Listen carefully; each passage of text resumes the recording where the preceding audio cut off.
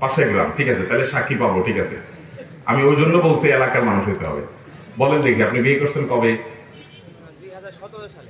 সতেরো সালে। আপনি কোনো যৌতুক নেন নাই? সামান্য একটা মোটরসাইকেল হাত পালক বিদেশে যাওয়ার টাকা কিচ্ছু না। কি শ্বশুরা গরিব? তাহলে? তারা কি সাজছে বলছে কিন্তু আমি বলছি আমি নিব না। এতে আপনার মা বাপ আপনার আত্মীয় স্বজনরা নারাজ হয় নাই? আপনার বাপ মা চাইছে যেন আপনি যৌতুক না আনেন শ্বশুরবাড়ি থেকে। মাশাল্লাহ আপনার বাপ মা কি এখানে আছেন? আপনার কি নাম? গোলাম মোস্তফা লাভ গোলাম মোস্তফা লাবু তার বাবা কি আজকে মাহফিলে আসছেন? আপনি একটু ঘুরা দেন তো আপনার চেহারা দেখুক আপনার বাপ থাকলে। আমাদের যুবকের বাবা কি আসছেন? সেই মুরব্বীকে আমরা একটু দেখতে চাই। আছে? চলে আসেন চাচাজি। প্লিজ এই বাবাজিকে আসার সুযোগ করে দাও যুবকরা। এই বাবাজিকে আসার সুযোগ করে দাও। এই যুবককে চলে আসেন। চলে আসেন। বাবাজিকে আসার সুযোগ করে দেন। সবাই একটা প্রাইভেট দিব। বাপ বেটার এই সততার কারণে। নারায় তাকবীর আল্লাহ রাব্বুল আলামিন এই বাপ বেটার মতো সৎ মানুষ দিয়ে দেশটাকে পরিপূর্ণ করে দিন বলুন তাদেরকে আরও সৎ হওয়ার টপিক দান করুন। তাদেরকে আরও ভালো হওয়ার টপিক দান করুন। বাবাজি চলে আসেন আপনি। আচ্ছা আপনার সাথে আলাপ আছে আমার। আমরা ওয়াজ মাহফিলে আসছি। এখান থেকে কিছু শিখে যাব কিছু নিয়ে যাব ঠিক আছে না? আপনারা মাহফিল থেকে কিছু নিয়ে যাবেন না? মাহফিল থেকে কিছু নিয়ে যেতে আসছেন না? কি নিয়ে যাবেন? আমি আসার সময় দেখছি বিশাল বাজার বসছে। বুট বাদাম নিয়ে ছাড়া তো যাওয়া যাবে। মাহফিল থেকে বুট বাদাম নিতে আসছেন? তাহলে তো বুট বাদাম নিয়ে চলে যেতে পারেন। কষ্ট করে এখানে বসার দরকার আছে আর। এত টাকা খরচ করে প্যান্ডেল করা হলো। এতগুলো মানুষ বসলেন। প্যান্ডেলের জায়গা নাই। দুই পাশে মানুষ ঘন হয়ে দাঁড়িয়ে আছে। অনেক কষ্ট হচ্ছে। তাহলে আপনারা এখান থেকে কিছু নিয়ে যেতে হবে না ইনশাআল্লাহ? আমরা এখান থেকে আমাদের দুশ্চরিত্র খারাপ গুণগুলো ছেড়ে যাওয়ার প্রতিজ্ঞা করে আল্লাহর সাথে কথা বলে তারপর যাব ইনশাআল্লাহ। আমরা এখান থেকে কোনো ভালো জিনিস শিখলে সেটা জীবনের স্তরে আঁকড়ে ধরার প্রতিজ্ঞা করে আল্লাহর সাথে ওয়াদা করে তারপর যাব ইনশাআল্লাহ। ঠিক আছে তো ইনশাআল্লাহ? যেহেতু এখানে আসছেন ওয়াজ মাহফিলে, নিশ্চয়ই আপনি সত্য, অসত্য বলবেন না। অসত্য বললে আপনি ধরা খেয়ে যাবেন কারণ চাচা আছেন। বউয়ের সাথে গালাগালি করেন,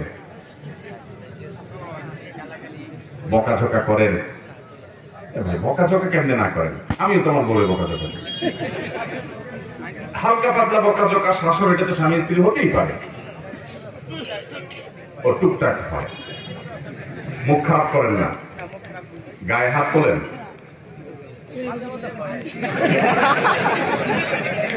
মানে সেটা কি স্বামী স্ত্রী সুলভ রসিকতা থেকে? আহামরি কিছু তো না। মানে এই কারণে সম্পর্ক নষ্ট হয়ে যায় অনেক বাবার বাড়ি চলে যান, এরকম খারাপ কিছু হয়? কিন্তু সেটাও করবেন না। আমাদের নবী সাল্লাহ সাল্লাম কখনো কোন স্ত্রীর গায়ে হাত তোলেন নেই। অতএব সেটার উপর আমল করবেন তো ইনশাআল্লাহ। আপনার ঘটনা আপনার স্ত্রী কিন্তু জেনে যাবে আজকের পরে। অতএব এলাকার মুরব্বীরা, বিশেষ করে চাচাজি, আপনি খেয়াল রাখেন যুবক আপনি আমার চাচাদের সাথে এসে দেখা করবেন, ঠিক আছে? আপনি যদি আপনার প্রতিজ্ঞার উপর টিকে থাকতে পারেন, আমার তরফ থেকে চাচাদের মাধ্যমে আপনার জন্য একটা বিশেষ পুরস্কার আসবে টাকা থেকে ঠিক আছে তো? আল্লাহ তালা আমাদের যুবক ভাইকে কবুল করুন, বলুন আমি তাকে আরও সৎ আরও সৎ থাকার তফিক দান করুন। বাবাজি, আমার দিকে একটু টাকা আপনার ছেলে বিয়েতে কোনো যৌতুক নেয় নেই? যৌতুক ছাড়া বিয়ে দেশে খুব কম হয়।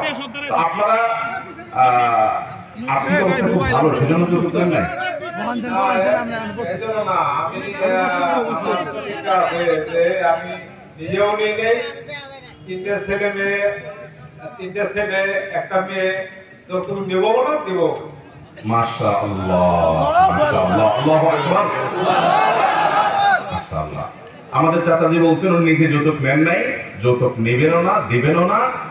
এবং ওনার ছেলেদেরকে কোন ছেলে বিয়েতে তিনি যৌতুক দেন নাই।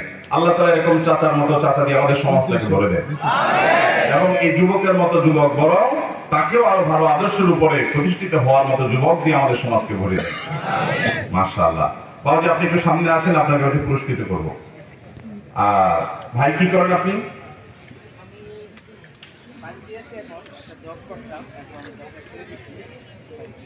আচ্ছা।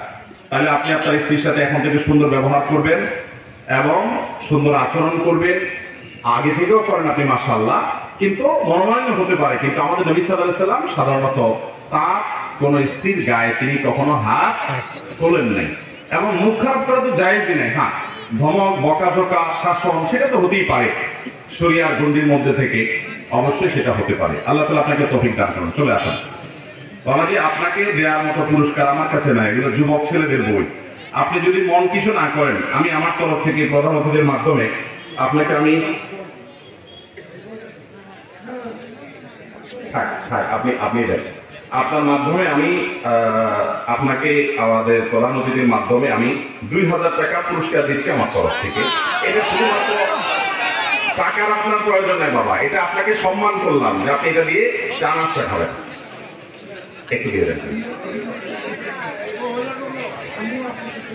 আচ্ছা আপনি নিয়ে তারপর দিয়ে, সমস্যা না আচ্ছা আপনি সব দিয়ে না। আচ্ছা উনি এবং আমি, আমরা দুজন মিলে এটা আপনাকে হাদিয়া দিলাম, আপনি তো চা খাবেন। হাদিয়া কিন্তু ফেরত দিতে হয় না। এটা কিন্তু হাদিয়া আপনার কিন্তু অভাব নাই। আপনি এখান থেকে হ্যাঁ আপনি এক কাজ করেন।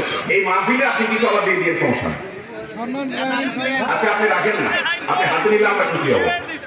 মাশাআল্লাহ। আচ্ছা শুধু সেটা নয়, আপনাকে আমার লেখা সকাল সন্ধ্যা একটা দোয়ার বই দেখি এটা আমি আপনাকে দোয়া দিলাম।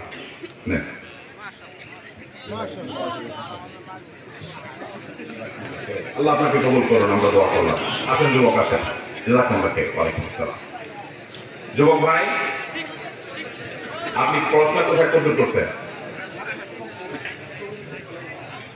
আচ্ছা মাশাআল্লাহ। আপনাকে আমি একটা বই দিচ্ছি। না এই বই আপনাকে দেবো না আমি। আপনাকে আমার লেখা বই এটা একটা আপনার স্ত্রীর জন্য, একটা আপনার জন্য। দুজনের জন্য দুইটা, ঠিক আছে? এবং এই বই নিয়মিত পড়বেন, ঠিক আছে ইনশাআল্লাহ? আল্লাহ তালা আপনাকে তৌফিক দান করুন। সেই সাথে আপনাকেও আমি চার হাজারকে দিলাম, আপনাকে আমি এক হাজার টাকা হাতিয়ে দিতে চাই। টাকার আপনাদের প্রয়োজন নেই, আমি জানি। যারা যৌতুক নেয় নাই, তারা অর্থ লোভী না আর যারা যৌতুক খায়, তারা অর্থ লোভী যৌতুক নেওয়া হালাল না হারাম? ঘুরায় ফিরায় খাইলে অনেকে ডাইরেক্ট খায় না বলছে হাওলাত দেন হাওলাত আছে না নাই? এদের মতো ছোট লোক আল্লাহর জমিনে আর হতে